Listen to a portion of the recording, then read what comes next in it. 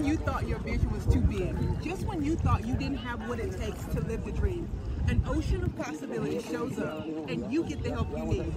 Vision Camp, November 19th, 10 a.m. to 3 p.m., Burlington, Vermont. Be there.